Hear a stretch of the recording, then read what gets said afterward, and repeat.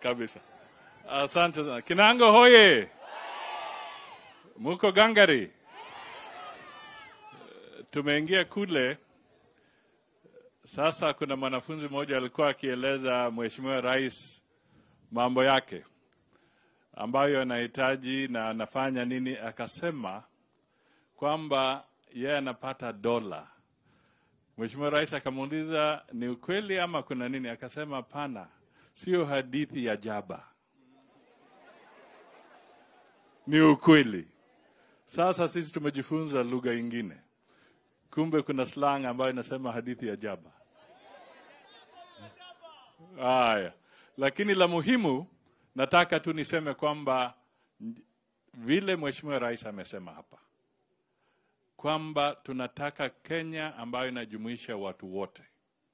Tafadhali tusiondoke kwa barabara hiyo, tujenge taifa ambalo linashikanisha kila mtu, pembe zote za taifa letu ziwe kitu kimoja, kwa sababu hatutaki tuwe na fujo. Mheshimiwa Rais amezima mambo mengi katika sehemu zingine, na pia anahitajika hapa na kule kwengine.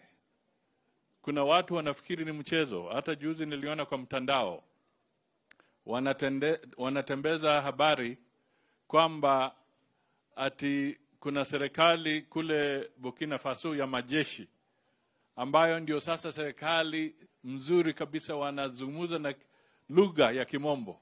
Labda wengine wameona hiyo. Mimi nataka niwaambie sisi tuheshimu demokrasia.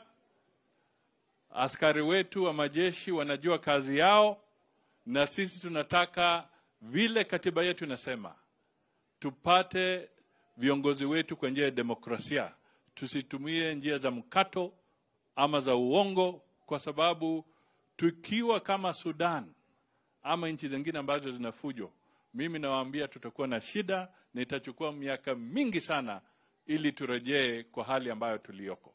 Kwa hivyo kama kuna matatizo kama Wakenya, tuyazungumze kwa njia ya kidemokrasia ya halali, na tuungane na Mheshimiwa Rais, tusilete vurugu katika taifa letu. Maisha yamepotea, si haja yapotee. Wafanyabiashara wameumia, hatutaki waumie.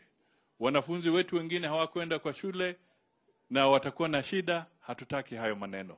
Mimi nawasihi na warai vile rais anasema tuwe kitu kimoja. Asanteni sana. Niko na ndugu yetu Salim Mvurya, waziri wetu wa viwanda na waziri wetu wa investment, Asante sana Mheshimiwa Rais Daktari